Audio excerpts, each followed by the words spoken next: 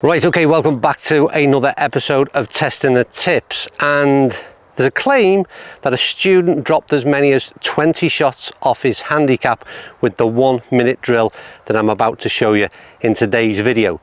The video comes from Seguto Golf. It's the first time that that channel has featured on Testing the Tips, and that's largely thanks to you highlighting his channel as being something that we should take note of. And he has a very, very simple drill two elements to it and we're going to keep it as simple and as straightforward as possible as we can. But I also encourage you to go and watch this video on Seguto Golf's channel because he does something that I've never seen before on any of these tips channels where he pulls the cameraman from behind the camera onto the tee, never hit a golf ball before in his life, and he starts striking the ball using this method. Now, you might be skeptical like I was, but watch it and you can see it's a very authentic clip. So, what is the drill? Very simply, if you're struggling with any kind of inconsistency with strike, then I would suggest this is a real sort of no-brainer in many ways. Also, if you're starting the game, it's a very easy way to start building up confidence and getting your strike levels uh, of the quality of strike high. We're going to do it with irons and the problem is with a lot of golfers, and again I always highlight my issues, is that we tend to sway. So we sway off the ball, which means that we've got to sway back to the ball and make sure our tempo and timing is right in terms of making a decent contact. And instead of swaying, we should have more rotation. That's a big problem. So how do you make that, how do you simplify that problem? Well, Seguto Golf, and again, unfortunately, I don't know his first name, he takes a simple address position and then what he asks you to do is he wants you to load your front left leg. It's very different than some of the other messages that you might get out there in terms of golf tuition and he highlights that and acknowledges that himself. But he wants you to shift your weight. I would say I'm as much as sort of 65-35 in terms of weight distribution to my front lead foot at the moment.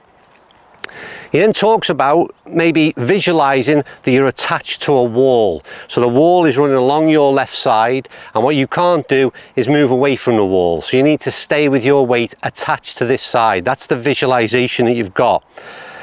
Then all you're going to do with this weight I can say shifted over to that left side. Is you're just going to straighten the arms? Or straighten the left arm? I do apologize. Keep the left arm straight. We can obviously we can bend our our right arm but we're just going to take away keeps our left arm straight. With the weight still distributed the way it is keep our left arm straight through the swing as well. And what should happen is we hit a decent golf ball. So let me get comfortable. Weight over to that left hand side and all I've done there is simply punch what I would say is sort of a 10 to 2 swing which is another video that we've done very recently but it seems that it's very much a three-quarter swing. And all you'll see is that we get ball then turf and there's another one I hit before we started this and you'll see a similar thing. And what's interesting is for me is that low point changes significantly which means that I'm starting to hit ball then turf and you'll see a nice straight line of divots as well. So I ain't even going to waffle on with this one. There's a tendency to do so in some of the videos in terms of all these tuition videos. Like I said, go and watch Seguto Golf's explanation because that's it. It ends there. It's very much got a lot of the kind of, if anyone's ever heard of the sort of stack and tilt method, it's certainly got some of those uh, connotations, let's say. So weight over to that left-hand side. All you're going to do then is simply get a bit of rhythm and get yourself hitting down on that ball. That was better. So you're just looking to scuff the ground pick a, again, something he does with the student that he pulls from behind the camera, pick a little point uh, on the ground and make sure you, so you know where your low point is, switch over your weight and make sure you're trying to hit down, so left arm straight, down on that ball. It's that simple. I'm ending it there. We're going to keep it short and sweet. It's probably the sh shortest video we've ever put out on YouTube in terms of testing the tips. But trust me, that small little tip, weight distribution, 65-35, attached to the wall, do not sway. Just get that uh, left arm straight and see how much difference it makes in terms of your contact on that golf ball.